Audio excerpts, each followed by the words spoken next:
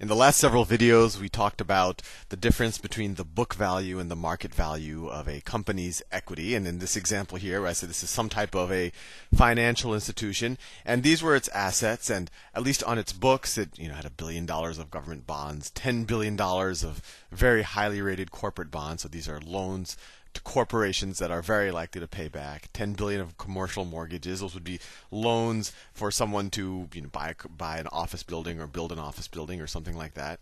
And then we we focused in a little bit on this piece, this green piece here, residential CDOs, and I explained what those are. Those are essentially derivative securities that are derived from mortgage-backed securities, which are just a bunch of mortgages that are packaged together. And we focused on that because this is really the crux of everything that everyone's been focusing on since the credit crunch started. Although I'll I'll throw it out there, this is just the first wave. This is what's deteriorated so far. Housing prices have gone down. You had all of these people with these, you know, these these liar loans where you could make up your income and and get a million dollar loan with no money down. So this was just the first wave, but you can imagine if the economy gets bad enough, then a lot of these commercial mortgages are going to uh, are going to start looking not so great either. And actually there was an article uh, that I read this morning where they talked about well, you know, because of all of the all of the turmoil in the financial system because of this piece that the that the commercial vacancy is actually going up and a lot of the people who owe commercial uh, who own commercial mortgages they're actually getting a little bit worried right now because a lot of office space is going free but anyway that's not the focus of this what we should focus on now is well, fine, you know, this bank has a shady asset, and that makes it look a little uncertain as far as what its equity is worth, right? If we said this asset was worth four billion dollars, we said we have three billion of equity here, right? Because everything would have added up to uh, 26 billion, and then we have 23 billion in liabilities, and so liabilities plus equity is equal to assets, or assets minus liabilities is equal to equity. So 26 minus 23 is equal to 3. And then I gave you the example of, well, but what if the stock market is actually valuing this thing at uh, equity of 1.5 billion? And the way you get that is you just say, well, they're saying $3 a share and they're half a billion shares. So what if the what if the stock market is saying, no, I think that this company's equity is only worth a billion and a half? And a, a rationale for that could be that they just think that this asset right here is worth a billion and a half less. But anyway, I just wanted to make that point because a lot of people, you know, often get confused between book and market value. But now let's think about let's think about why this matters. Why is why is Hank Paulson and Ben Bernanke and George Bush and seemingly everyone else so scared? And the, the logic goes, well, if if I just have, you know, if this is just one bank and you know, maybe these things are worth zero. What's the problem? If these things are worth zero, this one bank declares bankruptcy and it just gets resolved in the bankruptcy process. And I'll do another video on how the bankruptcy process works. Or there's another scenario where you say, oh well, you know, this this one bank, maybe this isn't worth zero, maybe this is worth four billion, and as long as people just continue to loan it money, it should be able to be fine and it'll weather out the storm. And that's the crux of the issue whether people will continue to loan them money. So, corporate loans or, or loans to corporations or banks, they tend not to be, uh, you know, most of the loans we're familiar with in our kind of personal lives, or maybe a mortgage where it's a fixed term, 30 years. At the end of it, you've paid all of the interest and you've completely paid off the loan.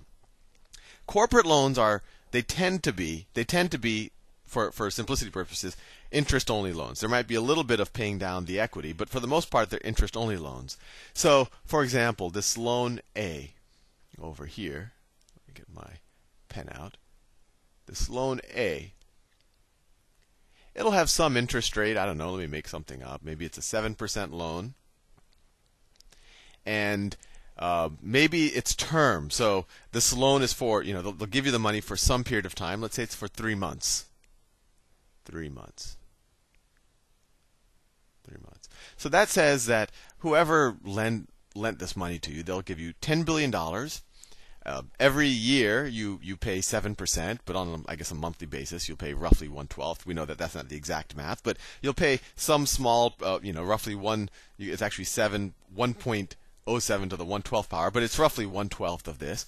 And then at the end of three months, you pay that lender back the $10 billion. And you might say, well, that's a strange way of financing yourself because every, every three months you're going to have to go and get another loan. And, and that's absolutely true. But in a normal in a normal credit environment, most companies can say, okay, I'll borrow this $10 billion for three months at an annual rate of 7%.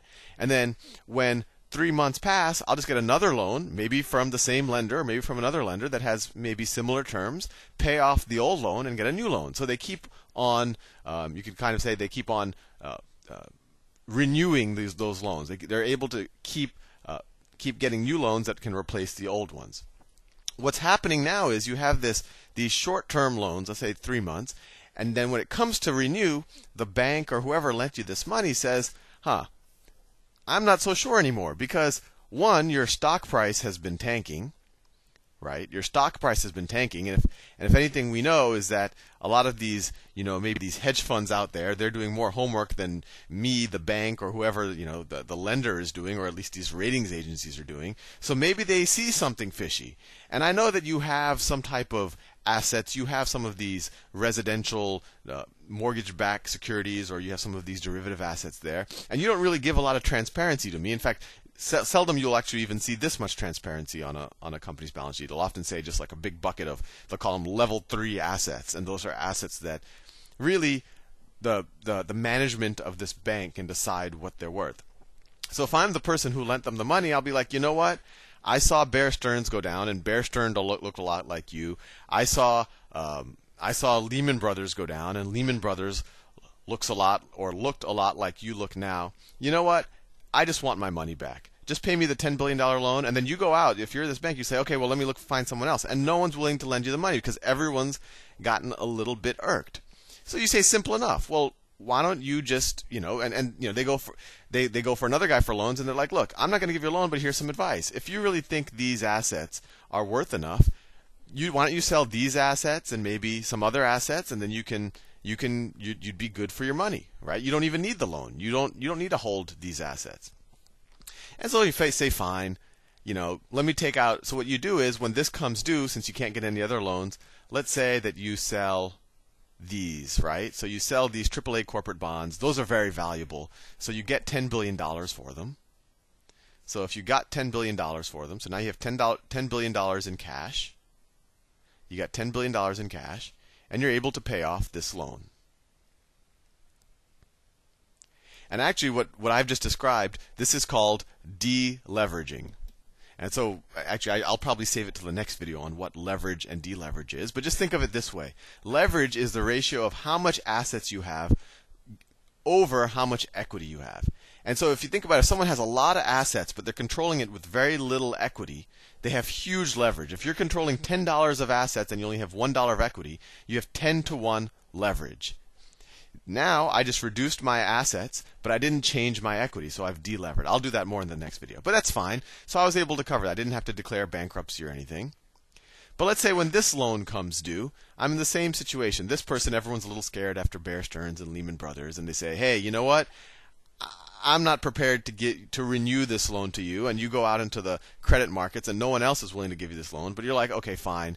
I have these commercial mortgages, and I can sell them. They're fairly liquid securities. Liquid securities means that there's a market in them, and that you can find buyers who are willing to buy them. But let's say since you had to kind of do it in a in a fire sale type of situation, since you had to do it very quickly, and and everyone's a little squared now. Let's say you only get nine billion dollars for these, right? You, they're, worth 10 billion or so you say, and then when, when you actually try to sell them in the market, you get 9 billion dollars. So you get 9 billion from those. That was 9 billion. And let's say you have to sell your government bonds as well, so you get another billion. So that gives you 10 billion dollars. And then you could pay off this guy right there. So now it's getting interesting. Notice the book value of my equity. Well, it might have changed a little bit because I had 10 billion of assets and I had to I had to essentially write them down to 9 billion because that's what I got for them. So let's let's actually recalculate our new book value. So if I'm the company, remember this 4 billion was what the company said it was worth. The 2.5 billion was what the market said it was worth. So they have 4 billion plus 1 billion. So we have 5 billion now in assets. And what's our liabilities? We have 3 billion in loans. So we have 3 billion of liabilities. And now the book value of our equity is now going to be 2 billion. And just to think about it, why did our book value of equity go from 3 billion to 2 billion? Well, because I actually I thought that these commercial mortgages were worth 10 billion, but when I had to sell them really fast, I only got 9 billion for them. So I essentially had to write down those assets and then sell them and turn them into cash. So that's why the the book value of the equity is now 2 billion. And now notice something here. The book value of this residential mortgage-backed security, at least what this bank management says the book value is, is 4 billion. I shouldn't have crossed it out. Let me write it again. 4 billion. The 2.5 was what the market was saying which is larger than my total equity. So if this is worth zero, then I actually have negative equity. If this is worth 2 billion instead of 4 billion, then I have zero equity. So now I'm getting into a, a, very interesting situation, and, and I wonder what's going to happen when loan C comes due. And we'll explore that in the next video.